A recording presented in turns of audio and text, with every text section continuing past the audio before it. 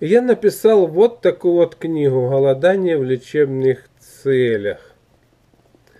Вроде как я не ученый, специально медицинских институтов не оканчивал. Но тем не менее, я знаю одно, если человек стремится к познанию, к исследованию работы над собой, то было бы желание, и он сделает. И вот содержание этой книги. Я считаю ее, не буду хвастать, одной из лучших на эту тему. Значит, что здесь? Видите, написана она была в 2003 году, еще раньше. Значит, часть первая. Общее понятие голодания, введение, голод природы. Есть такая вещь, если бы его не было, то о нем и не знали. Голод в истории человечества. Разъяснение понятия голодания, что это такое. Голодание разное бывает, вынужденное, невынужденное, с лечебной целью, с целью духовного совершенства и иные варианты. Четвертое. Описание процессов, происходящих на голоде в организме человека. Естественно, я изучил книги других авторов, опирался на них, не без того, и считаю, что особая ценность этой книги в том, что я изложил здесь не только вот свое мнение о, о этом вопросе, но и также опирался на мнение других людей, и в частности не просто опирался, но и проверял на себе, правильно это или неправильно. Значит, процессы, происходящие вот в полевой форме жизни человека, то есть в его тонких телах, процессы, происходящие в физическом теле человека, какие, это уже тут до меня было все выявлено учеными, значит, и закисление внутренней среды организма, рассасывание ткани, принцип приоритета, что будет. Вперед у вас распадаться на голоде, э, а что в самую последнюю очередь,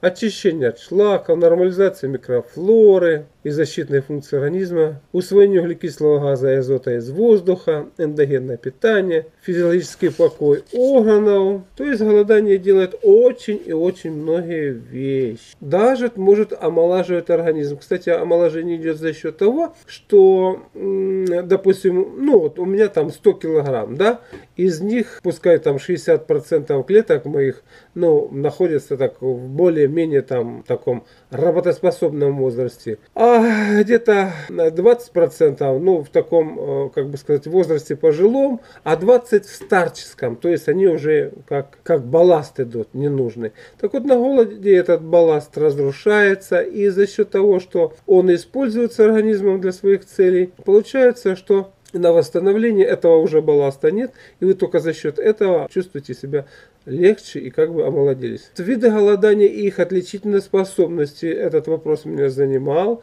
Я, значит, э, его прорабатывал. Количественное различие голодания. То есть количественное различие голодания, сколько дней там, сутки, трое, семеро, там, 15, 30, 40. В чем, в чем особенности? Период голодания, восстановительный период. Какие сроки голодания дают тот или иной эффект на организм человека. Далее. Развлечение голода по способам проведения. Это классическое голодание, как вот описано большинстве книг по голоданию. Фракционное голодание. Войтович его, так сказать, опробовал, придумал, и вот в чем его сила. Уриновое голодание. Здесь Армстронг, особенно за него, много писал. Сухое голодание. Ну и, естественно, практически все эти э, голодания я на себе опробовал, чтобы узнать, что, что и как. Далее, особенность проведения голодания в зависимости от биологических ритмов, индивидуальной конституции, э, конституции и возраста человека. Вот эта глава совершенно новая. Ни в одной из э, книг по голоданию этого нет. То есть это есть только у меня. И, наконец-таки, часть, вторая практика голодания. Кому голод вредит, кому помогает. Предварительная подготовка перед голодом, правильное проведение. 24, 36, 48 часов голодания, выход из такого голодания, правильное проведение 3-7, 10-дневного голодания, выход из этого голодания, правильное проведение 20-30 суточного голодания, программа питания для хорошего пищеварения, после голодания, это очень важно. Какие ошибки может совершить голодающий? Практически как-то на вот таких вот вещах, как ошибки, мало кто останавливался из авторов, пишущих о голодании. Я как-то все это дело суммировал, то, что я сам совершил, то, что я сделал, и все это как бы суммировал, описал. Успешное применение голодания, как автор получил опыт в голодании, о необычных способах голодания, такое есть, и, наконец-таки, голодание при различных заболеваниях, и заключение, то есть вот такая вот большая книжка была написана мной. И что я хочу сказать. Вот можно, конечно, работать по литературным источникам, что там другие люди написали, как они там исследовали голод на собаках, ну и прочее, прочее, прочее. Понимаете, можно то есть работать по литературным источникам. Это будет одно знание. Я же хочу в следующем фильме, э, в котором я голодаю 40 суток, показать вам, как я его приобретал, этот опыт. Естественно, я не сразу 40 суток голодал, я начал с одних суток, несколько, говорить, месяцев голодал по одним суток, потом трое суток, и потом пошло-поехало, пошло-поехало. И за несколько лет, вот если я начал голодать примерно в 1985 пятом году, 85-86, то где-то в 2000 году я сумел проголодать 40 суток. Также у меня были голодания и сухие по 7-8 суток несколько раз. Естественно, были промежуточные такие голодания, там трое суток, пятеро суток, семеро суток, где-то 20, чуть больше 20, 27, ну вот, вот так вот. И потом вот было 40-суточное голодание. Но еще хочу подчеркнуть, что одно дело писать, не делая ничего. Другое дело, вы и знакомитесь с теорией, и, естественно, все это опробуйте на практике и понимаете, где то прав, и в чем прав, и насколько. Этот голод посмотрите. Я считаю, все вещи, конечно, нужны. Есть неприятные такие моменты, когда там, будем говорить, выходит шлак из организма, при клизмине выходит там, допустим, распавшийся там опухоль, ну, разные такие вещи. Поэтому отнеситесь к нему с должным пониманием. Автор не хочет вас шокировать, а хочет хочет просто-напросто показать весь этот, как бы сказать, всю эту науку голодания так, как она и есть, ничего не скрывая.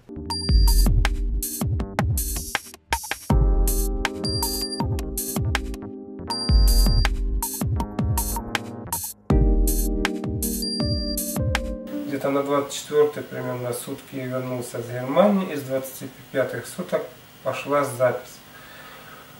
Я просмотрел этот фильм, э, вспомнил те события, о которых я уже и подзабыл.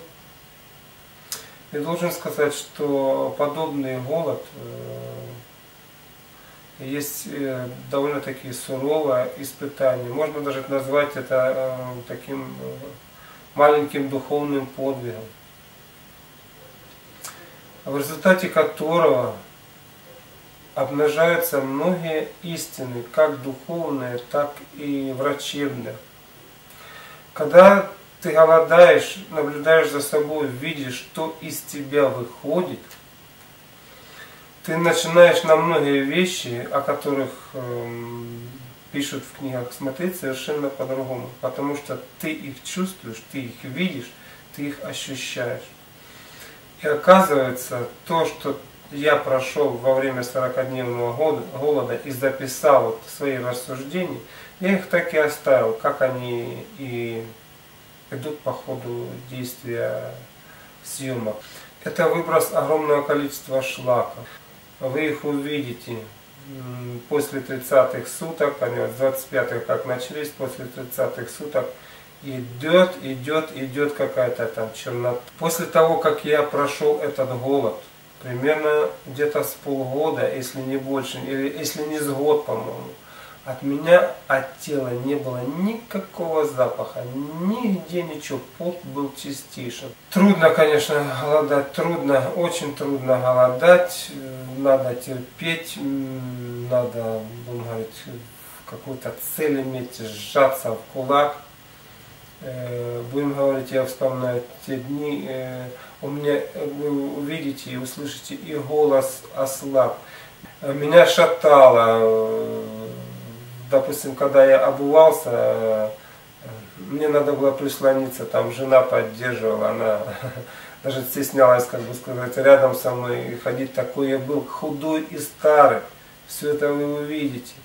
И что хочу сказать э, насчет лечения. Вот когда из человека выйдет столько дерьма, сколько вышло с меня за этот, эти 40 суток, тогда становится ясным, насколько много у человека патологии.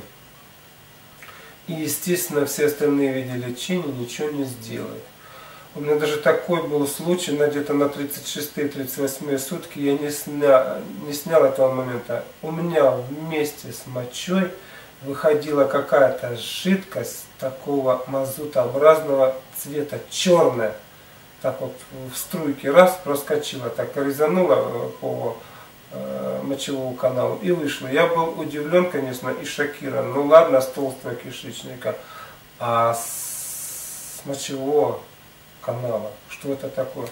То есть патология, ну, везде э, у человека имеется, он даже, они и не подозревают, что она там мирно, тихо, зреет, может превратиться в опухоль, может дать какое-то там заболевание, может еще что-нибудь дать.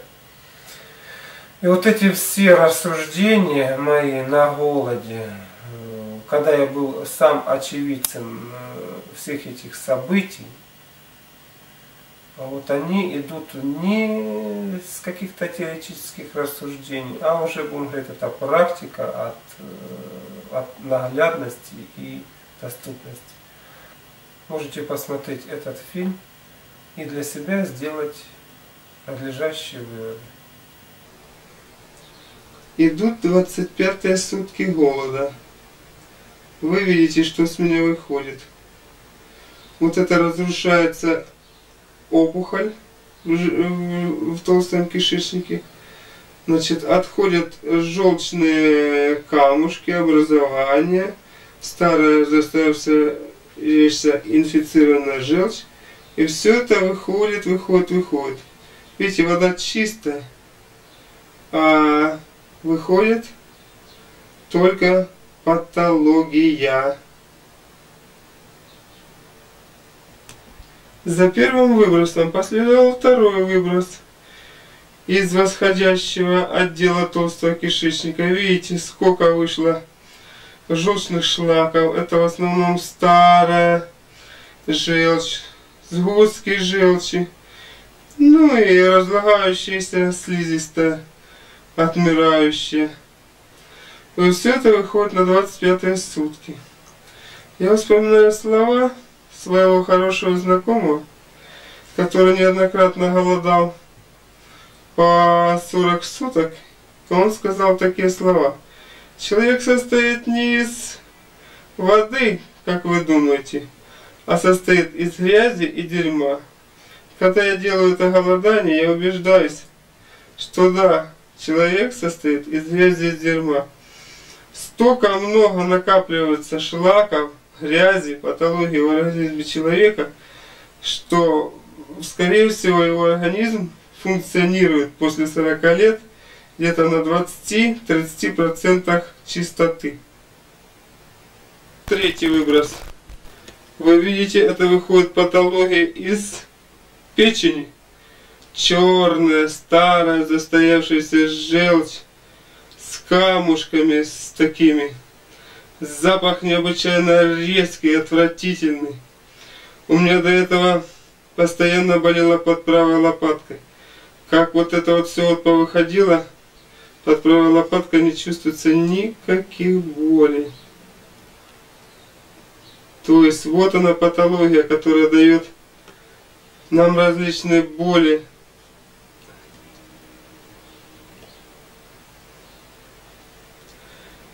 которая нам дает различные боли в те иные части тела. В частности, вот под лопатку боли были. Вот это все тина, желчь, выпадающий в осадок. Что я хочу сказать, смотря на это? Значит, чистка печени делает многое, но вот на таком уровне, увы, она не очищает. 26 сутки. Вот такой вот слизью из зубов, из глотки, отплевывайся. То есть выходит патология, отгнивает и выходит, выходит, выходит. Поэтому если хотите капитально очиститься, надо продолжать и грамотно выводить себе вот эту вот всю эту дрянь.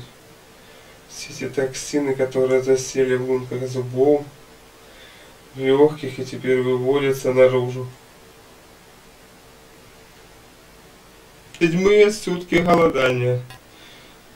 Это один из последних выбросов после солевой клизмы.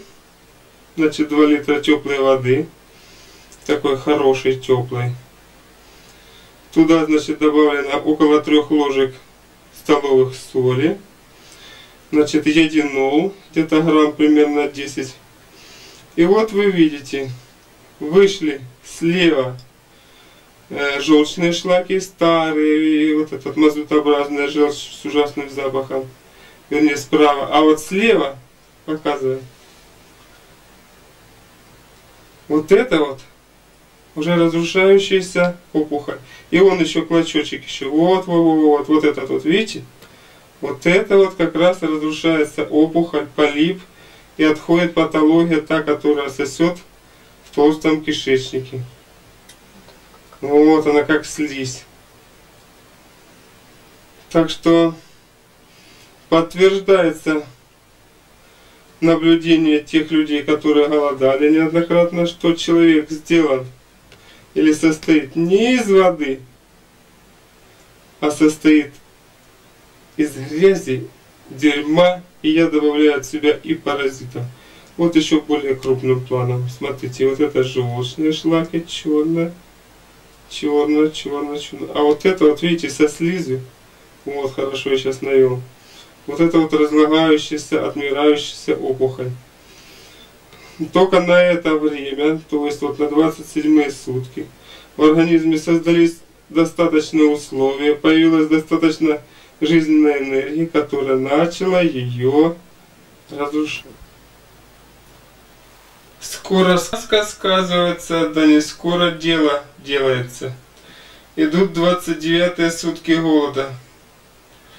Вы видите, как из меня выходит разрушенная грибница. То есть только вот на эти сутки создались условия.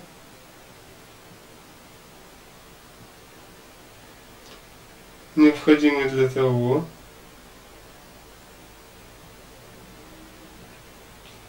чтобы произошло разрушение грибницы. Вот она четко.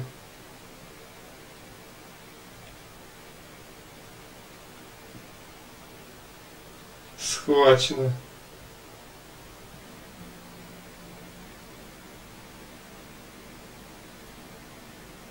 Вот, видите? Из чего она состоит? Из слизи, из волокон. Ну, как грибница. 29 сутки. Вы видите кусочки убитой и выходящей грибницы вот в таком виде она предстает.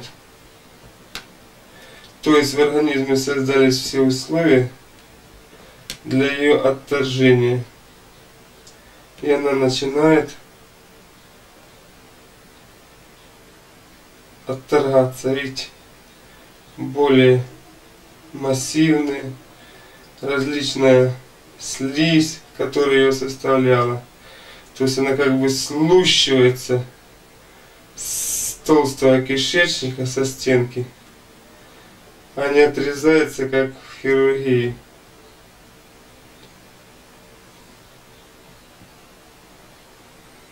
Что особо ценно. И функция восстанавливается, и кишечник функционирует нормально, и все цело.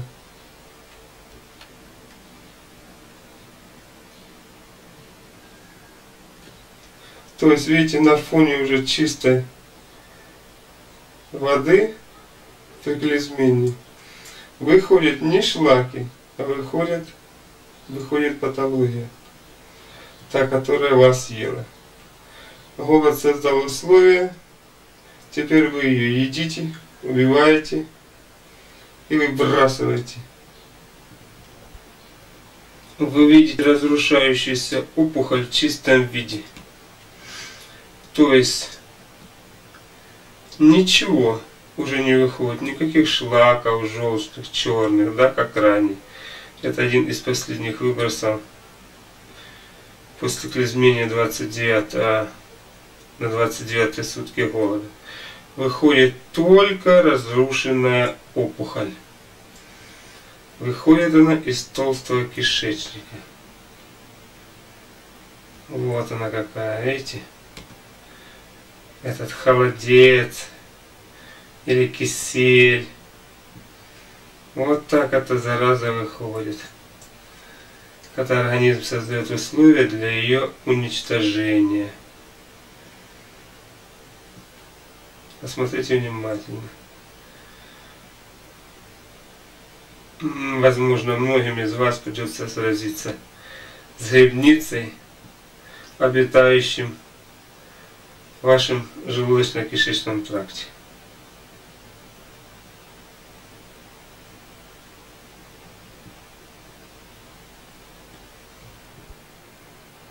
Идут 30 сутки голода. Наконец-то мы добрались до головы опухоли или грибницы. Видите, какая мразь сидит в животе. И сосет наши жизненные силы, забирает лучшие питательные материалы.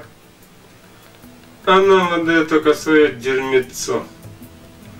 Вот эта зараза теперь выковыривается. Интересно увидеть человека, который голодает 30 суток. Его телосложение и прочее, прочее. Вот я перед вами. 30 сутки. Я продолжаю заниматься асанами. Итак, занятия.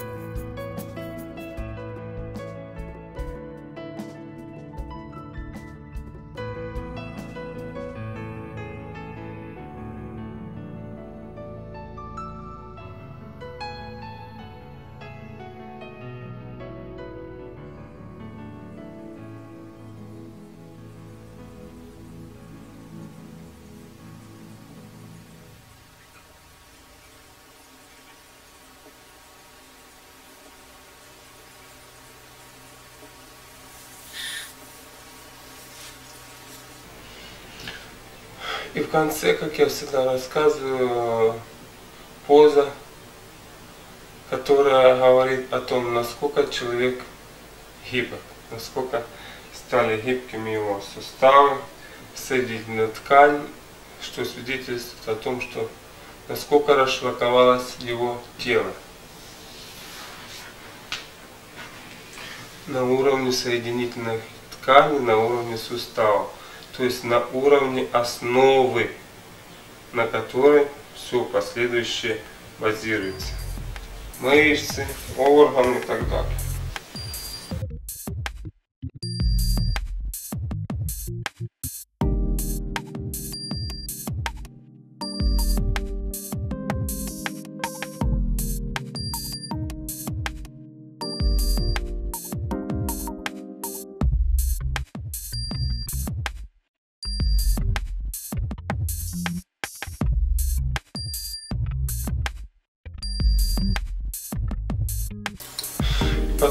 Под конец свободно расслабленное сидение, своего рода медитация.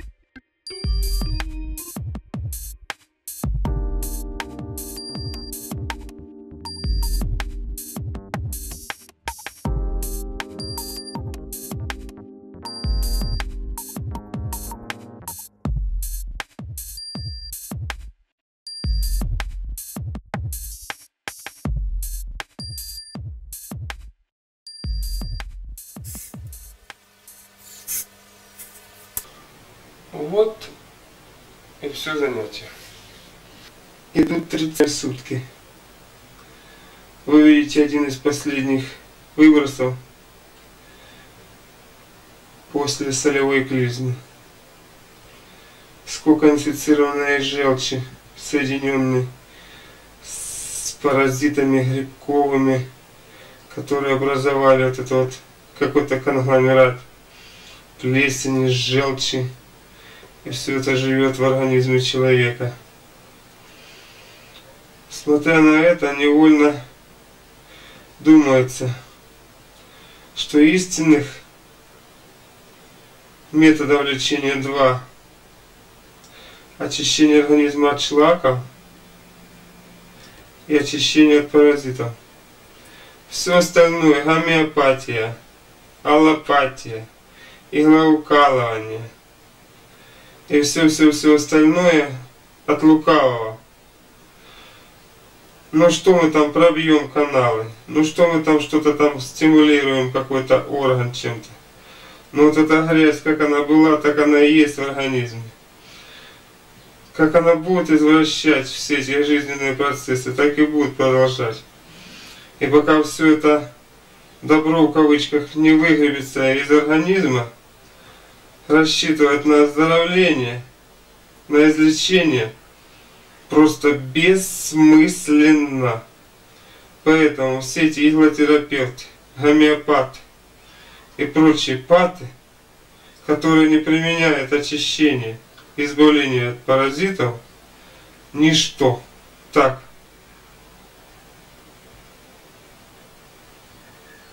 Лукавая, короче. Люди. Вслед за вышедшей грязью и отчастью от этой опухоли идет причина ее породившая. Вот эта вот грибница, вот эта вот плесень. Именно она создает среду в толстом кишечнике такую, чтобы ей было удобно разводиться. Она вызывает там застой, прохождение затрудняется. И в этом болоте она себя прекрасно чувствует размножается, ей наплевать на организм, лишь бы ей было хорошо. Вот поэтому надо создать условия, такие, которые возникают на голове, чтобы ей было плохо. Она начинает выходить. А вы чувствуете себя все лучше и лучше, здоровее и здоровее. 22 сутки идут голода. Как видите, патология выходит то же количество. Вот видите, в центре Белеции включение. Вот это вот самая опухоль. А все остальное уже, так сказать, ее последствия. Болото. Начале толстого кишечника. И в котором живет гробница.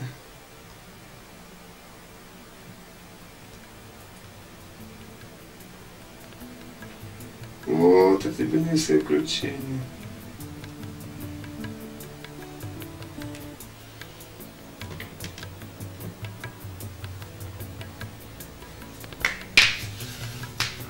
Начале разминка.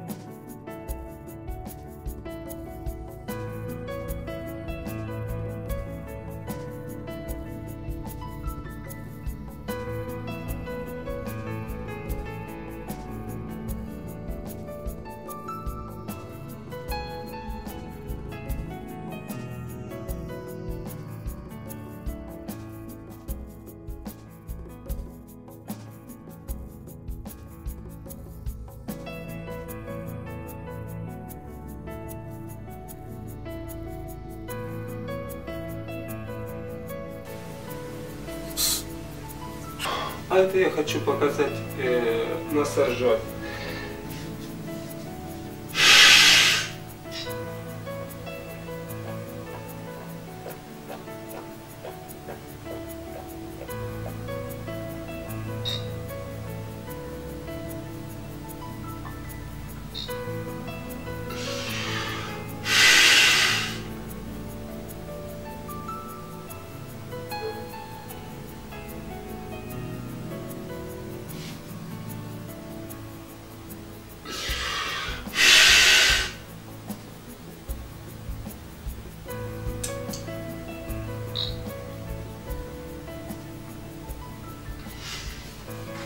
33 сода. Что вы перед собой видите? Вы видите разлагающуюся и выходящую из толстого кишечника опухоль в чистом виде. Вот она какая. То есть вот она расположена в верхнем углу с правой стороны толстого кишечника. Тут она прекрасно прижилась.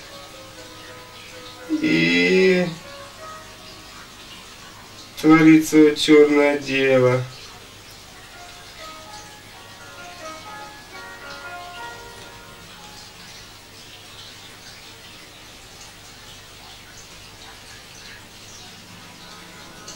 И только видите, в это вот время создаются условия, достаточные для того, чтобы ее изгонять из организма. И вот начался наконец-таки ее массовый выход.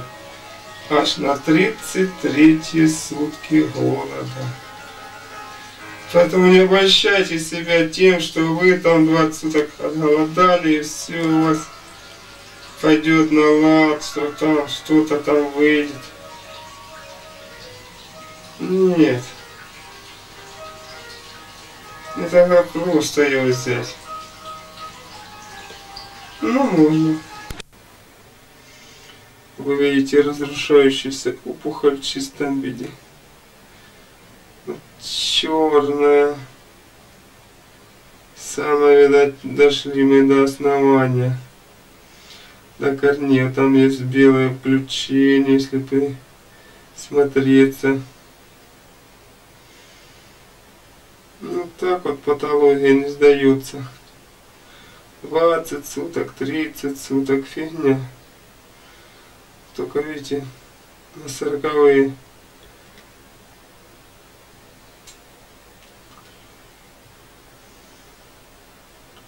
Сутки начинает выходить что-то.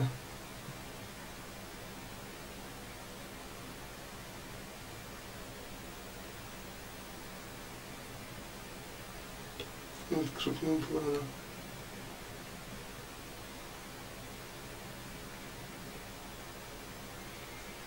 Вот это все раньше в народе называли порчи.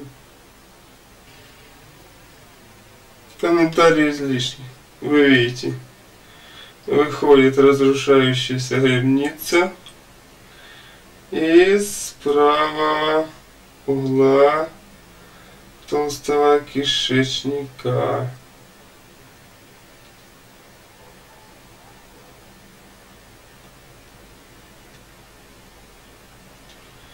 Включены туда, как вы видите.